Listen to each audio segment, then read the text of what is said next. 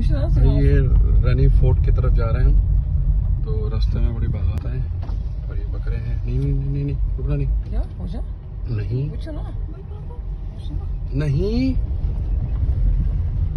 क्यों अरे भाई क्या हो गया? अंदाज़ा हो जाता ना। वो अभी तो पैसे कुछ और अरे। रनी फोर्ट आने वाला है। ये थोड़ा कच्चा रास्ता है ये। से चलानी है गाड़ी अगर आप लोग आ रहे हैं तो।